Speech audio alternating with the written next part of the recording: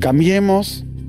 eh, se pasó cuatro años diciendo que el problema de la Argentina era el peronismo. Eso se convirtió en el caballito de batalla de Macri cuando decía los últimos 70 años. Yo no sé, deberán tomarse un tiempo para entender por qué ganó. En primera vuelta, mira, Macri es el único presidente de Latinoamérica que no es reelegido. Es el único, un fracaso espantoso. Vidal, que era la- la- el bastión político eh, de, de Cambiemos, pierde por 15 puntos. Y yo no quiero meter el dedo en la llaga, lo que quiero decir es que tienen que tomar nota. Perdieron, perdieron mal, perdieron por mucha distancia.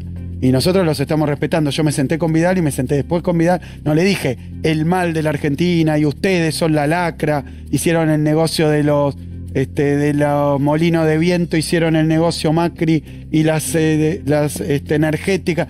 No hice nada. Me senté, lo respeté como oposición, me senté y yo creo que por eso mm, estoy muy decepcionado. Estoy muy decepcionado. Me encuentro que hay un sector, yo entiendo que hay un sector de Cambiemos que quiere eh, salir ladrando.